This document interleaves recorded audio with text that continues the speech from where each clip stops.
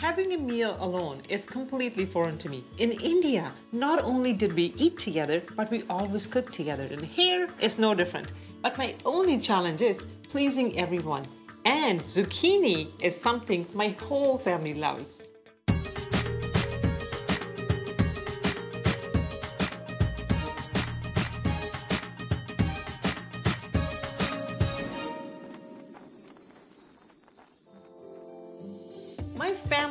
Practically lives in my kitchen. From the time the kids come home from school until we finish our last meal, that's where you would find us. And once in a while, I make a whole menu of family favorites.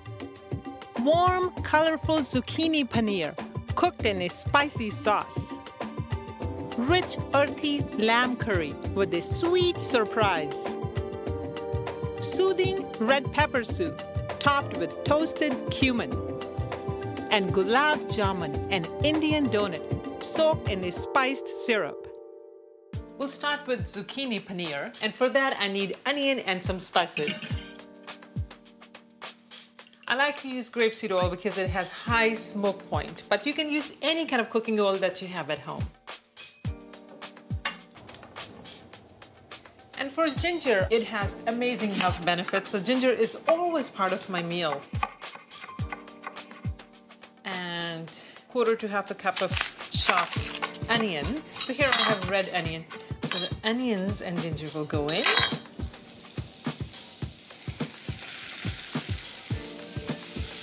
So cook for about two to three minutes until the onion starts softening. And now for the spices, what I have here is fenugreek seeds. Seeds have really nice, rich, bitter flavor that complements beautifully with the rest of the spices. Just a teaspoon, and then cumin seeds. So tablespoon, and we have some turmeric powder. Turmeric powder gives really nice color, nice flavor. So a teaspoon of turmeric powder. I have chili pepper flakes. I am going to give a little bite to my zucchini, but if you don't like that heat, you don't have to add them in. So just a little bit. Color and the smell is looking really nice. So fresh tomato, half a cup of chopped tomatoes. So cook this for another minute or so. So now for zucchini, just a half a cup. I'm just going to add a little bit of water just to make sure that all the spices, they mix together and we have a really nice sauce. Just a quarter cup. And turn the heat to low and let it cook for 10 to 12 minutes or until the zucchini is tender.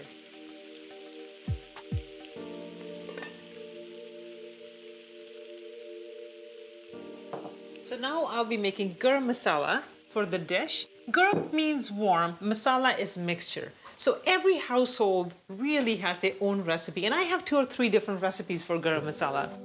So for today, some coriander seed, some cardamom seeds, and fennel because I like the flavor of fennel seeds.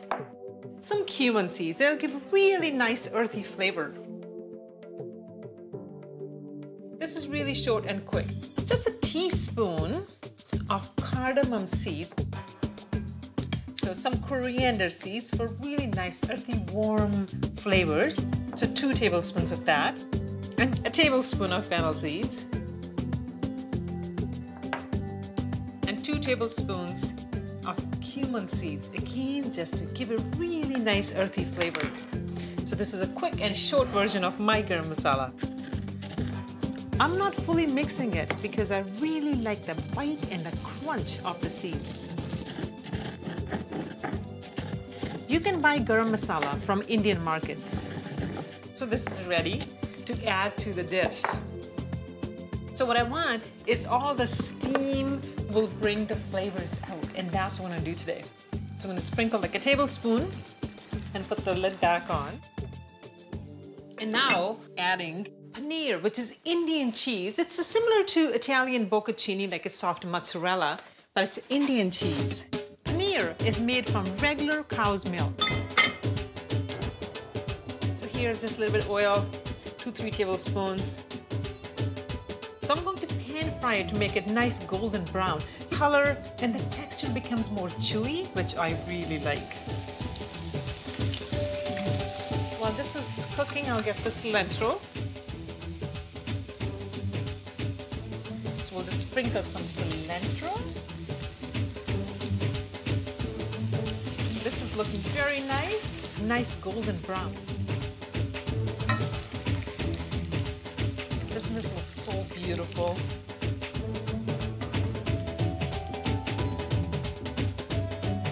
So you can eat this with roti, which is Indian flatbread, or you can have it with rice.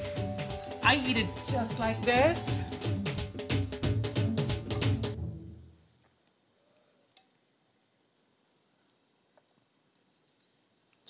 Good.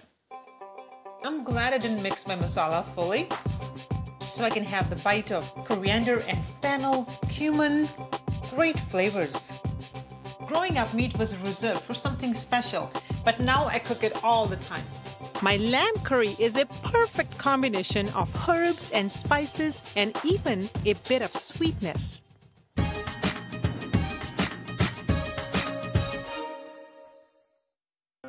Was growing up, there were some dishes that were cooked only for special occasions.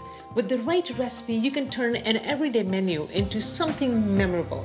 My lamb curry is a perfect combination of herbs and spices and even a bit of sweetness.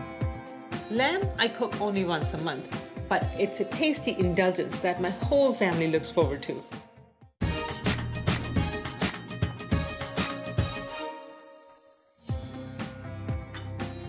Curry is something that I don't make very often. It's very rich and it's a once in a while indulgence. But when I make it, it's only for my family. Turn on the heat to low to medium. So I'm using some grapeseed oil, two or three tablespoons. So here I have to coat the lamb. So that I'll do with some flour and some spices. So here I have whole wheat flour, quarter cup to half a cup, and coriander powder, a tablespoon, and some salt and pepper. So mixing the flour with all the spices. And for lamb, I have lamb shoulder. So just dipping with the flour. My oil is nice and hot.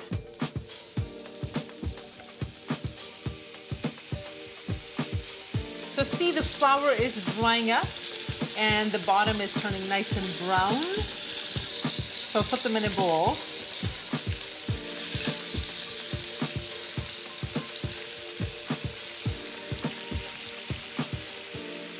And for the sauce, some onion, garlic, ginger.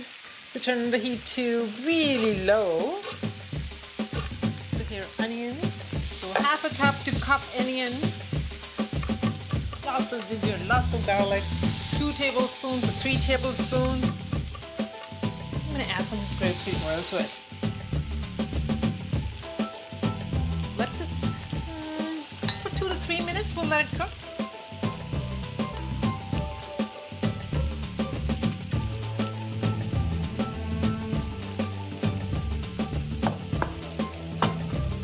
This is cooking really well and everything is caramelized very nice and smelling great. Now it's time to add spices. A tablespoon of cumin seeds and a tablespoon of garam masala.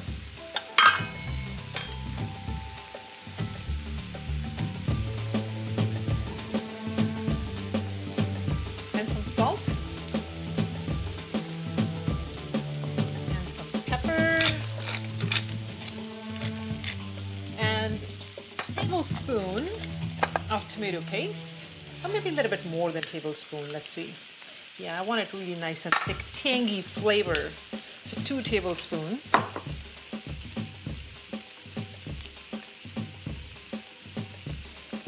And pepper, red pepper, any kind of vegetables are fine. You can have zucchini here, eggplant here, and And tomatoes, two cup of tomatoes. Um, if you don't have fresh tomatoes, use canned tomatoes. This is my only recipe where I get to be a little silly and little, have a little fun and include everyone's favorites. So I will be including chocolate chips to this recipe. So quarter cup of chocolate chips. These are milk chocolate chips, but you could use semi-sweet or even dark. They bring all the flavors together and they will balance the spices. So some chili peppers, just give a little heat to it because now we have sweet in it, now we have this aromatic, flavorful spices. So let's give a little bite to it.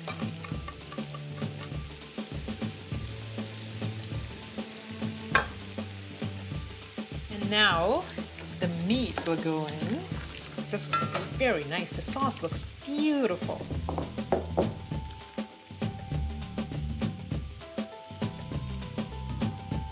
So another reason why I call this dish once a month, I am adding wine to it. I love wine. So half a cup.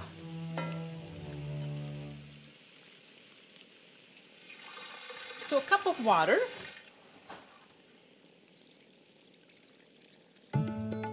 I'll cook this for two hours until my lamb is nice and tender.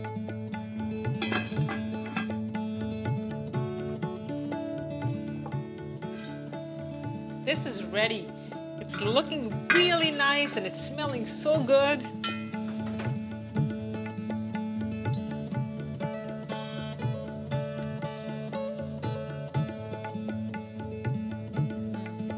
The onion, garlic, ginger, all the smells.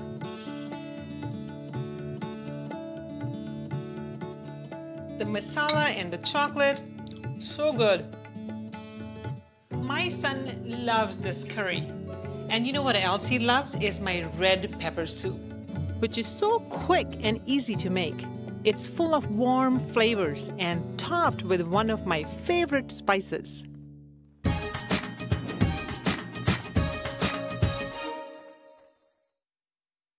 When I'm in a pinch for time and I want something quick and flavorful, I turn to soup. It's amazing how many different ingredients can be packed into a soup. My son's favorite is with red peppers and toasted seeds.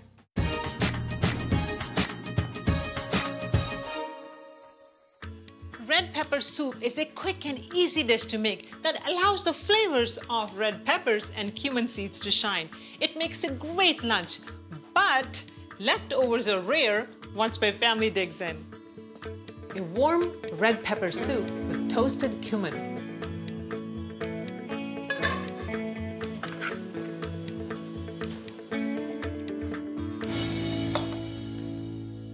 the soup, I'm starting with garlic. So tablespoon is plenty. Medium to high heat. I'm using some grapeseed oil, but you can use any cooking oil. Then here I have a red onion, quarter cup to half a cup of red onion. I'll chop my red pepper. So cook for about two to three minutes until our onions are really nice and soft. So here I have mustard seeds. I'm using brown mustard seeds, but you can use, this a lighter color. So teaspoon of mustard seeds and a teaspoon of coriander powder and hing, which is used a lot in South Indian food and a little bit in Northern Indian food as well. So hing is asafoetida. It smells so strong. The flavors are so beautiful. It complements really nicely the rest of the spices. Just a pinch is perfectly fine. And Spanish paprika, it doesn't give any heat, but it gives a really nice color. So just a half a teaspoon. And salt to taste.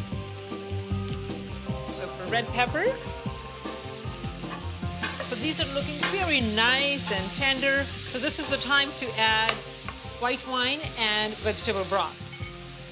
Here I have half a cup of vegetable broth and a half a cup of really nice white wine. It's absolutely my favorite.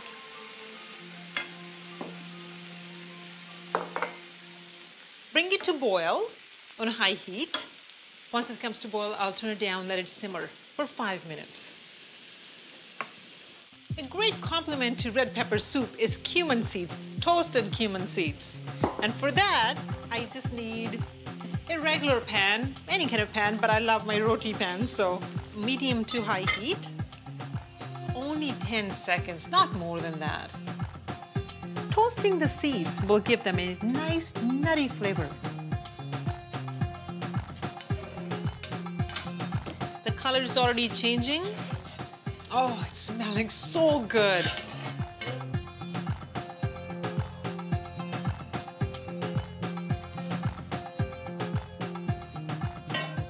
So these are done and ready for the blender.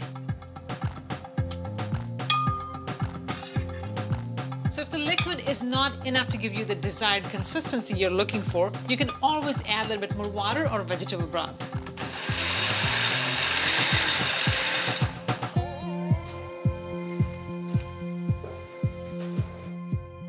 These toasted cumin seeds as garnish. Mm.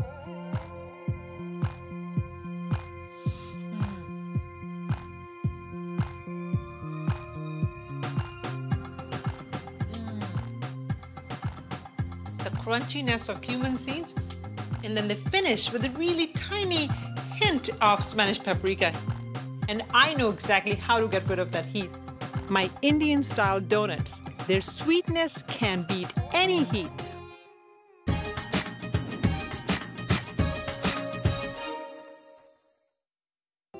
Growing up, dessert was simple and usually just fruit. But once in a while, my mom would make something similar to mini donuts, and they were my absolute favorite. And now I make them for my children, and they cannot stop eating them.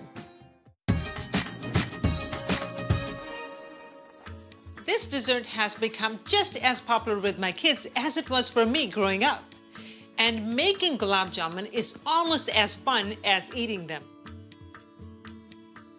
So here I have white sugar and we need five cups of sugar and four cups of water. So bring this to boil and then let it simmer for 20 to 25 minutes until our syrup begins to thicken just a little, not whole a lot, just a little. But what I'm going to be adding to this syrup is my favorite spice, which is star anise. Star anise has a nice licorice flavor. And then green cardamom. Green cardamoms are always used for dessert, four, five, or six maybe.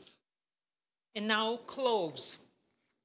The cloves add a strong sweetness to the syrup. While we're waiting for the syrup, we will prepare the gulab jamuns, the Indian mini donuts.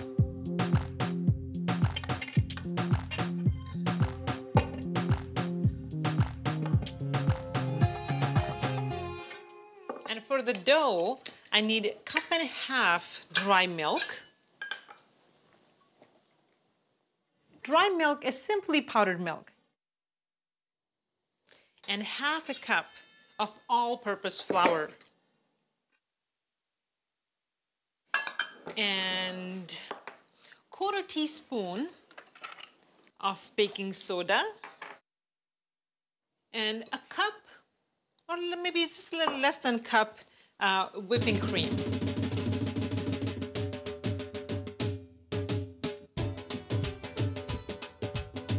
So the dough is ready.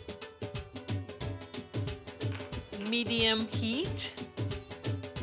And the oil I'm using is a cooking oil, so I need at least half of the pan filled.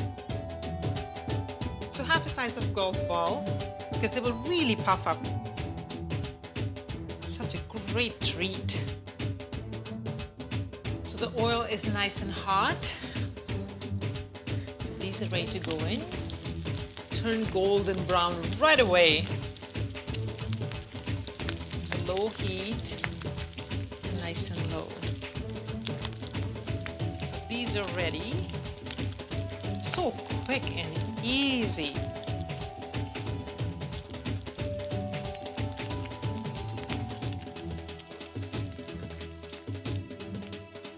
So for three to five minutes in the syrup, and they will fluff up and all the flavor from the spices is infused in the syrup.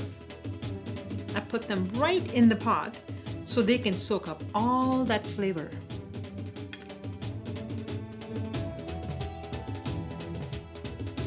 Oh, I am in heaven. Not kidding. This is a great Indian version of donuts. All the flavors, the cardamoms and cloves and star anise, very nice flavors. I think it's really important for families to eat together. And with these tempting dishes, you will have no problem bringing everyone around the table at mealtimes. Zucchini paneer. Warm zucchini paired with soft Indian cheese and coated in spices. Lamb curry, full of flavor, cooked in a rich sauce and a subtle hint of chocolate. Colorful red pepper soup, finished with the nutty flavor of toasted cumin. And one of my favorite sweets, gulab jamun, donuts drenched in Indian flavor.